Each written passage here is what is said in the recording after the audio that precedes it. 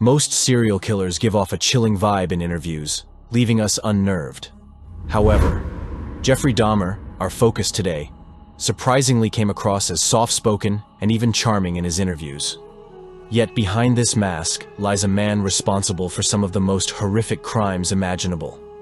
Dahmer's story is one of unimaginable darkness, filled with gruesome acts that defy comprehension. Jeffrey Dahmer's childhood seemed ordinary at first glance. He grew up in a middle-class family in Ohio, with his father, a chemist, and his mother, a homemaker. However, his home life was far from stable.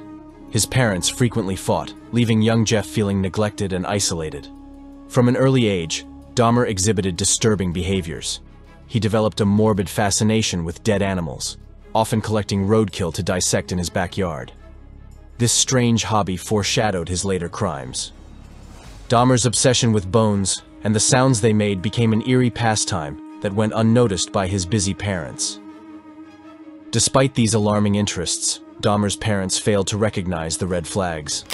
His father dismissed Jeff's behavior as a sign of scientific curiosity, while his mother was often too preoccupied with her own issues to intervene. In high school, Jeffrey Dahmer was a loner with peculiar habits. He had few friends and often kept to himself, which made him largely unnoticed by his peers. Those who did know him didn't see any signs of violent tendencies. Instead, Dahmer was known for his odd behavior and dark sense of humor. One classmate, Derf Backderf, who later wrote a graphic novel about Dahmer, described him as a twisted wretch whose depravity was almost beyond comprehension. Despite this, most students just saw Dahmer as a strange but harmless teenager. Dahmer's school days were marked by heavy drinking, even showing up to class reeking of alcohol. He gained a reputation as a class clown, often acting out seizures or pretending to have cerebral palsy, a behavior his classmates referred to as doing a Dahmer. These antics, combined with his growing isolation and drinking problem, hinted at deeper issues brewing beneath the surface. Escalation of disturbing behavior. As Jeffrey Dahmer entered his teenage years, he grappled with his sexuality in a time when it was difficult to be open about such matters. He developed troubling fantasies, including a disturbing obsession with a male jogger he watched from the bushes.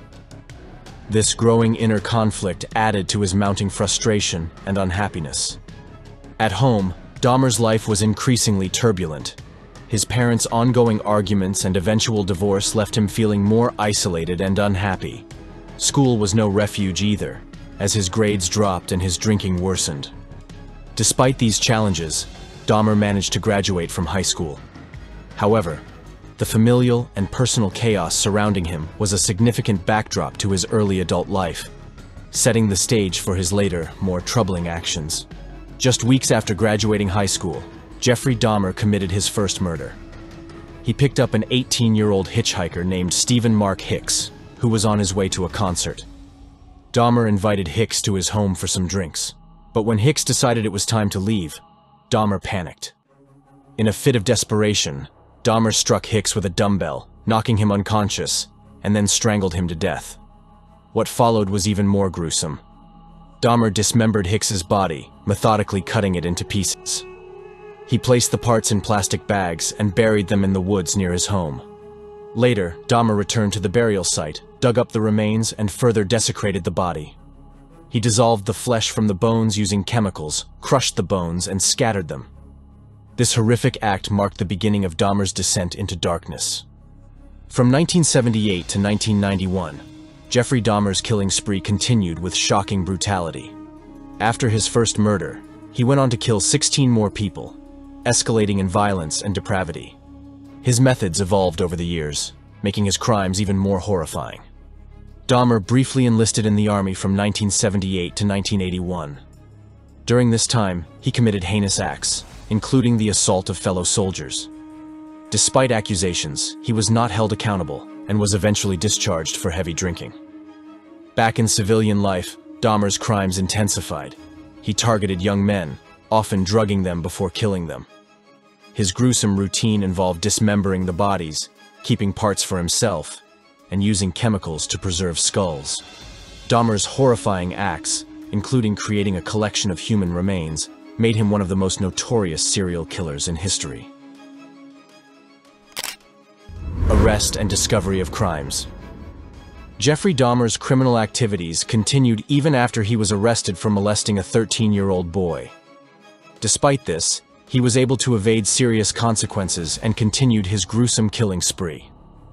By the time police discovered his actions, he had amassed a horrifying collection of body parts, including skulls and preserved organs. Dahmer's methods were chillingly systematic. He would drug his victims, kill them, and then dismember their bodies, often keeping parts as trophies.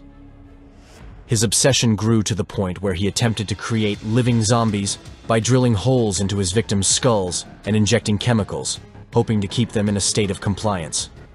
Dahmer's downfall came when Tracy Edwards, a potential victim, managed to escape from his apartment. Edwards ran to the police and informed them of Dahmer's intentions. Acting on his information, officers visited Dahmer's home, where they discovered a scene of unimaginable horror.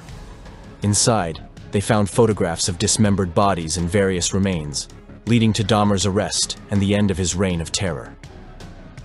Jeffrey Dahmer's trial began in 1992 and quickly captured national attention. He confessed to killing 17 young men and boys, detailing his horrific acts without any apparent remorse. The court found him sane and guilty, resulting in a sentence of 15 consecutive life terms in prison. During his time behind bars, Dahmer's behavior was surprisingly calm.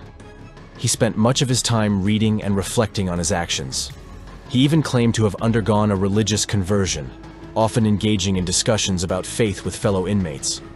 Despite his past, Dahmer was amiable and even formed some friendships within the prison system. However, not all inmates were sympathetic to him. Many found his crimes unforgivable, leading to tension in the prison environment.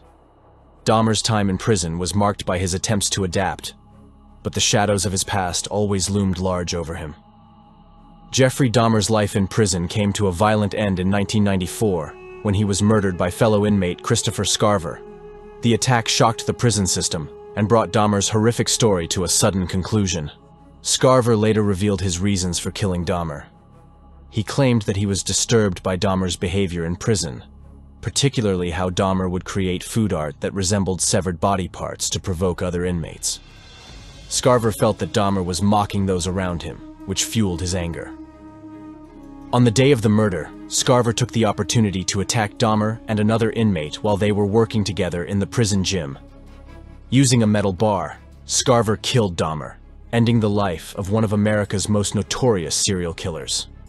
This violent act underscored the intense emotions surrounding Dahmer and his horrific legacy. Jeffrey Dahmer's crimes remain one of the darkest chapters in criminal history, illustrating the complexities of his psychological state and the factors that led to his horrific actions. His story raises unsettling questions about the nature of evil and the failures of society to intervene. We'd love to hear your thoughts on Dahmer. What do you think drove him to commit such unspeakable acts?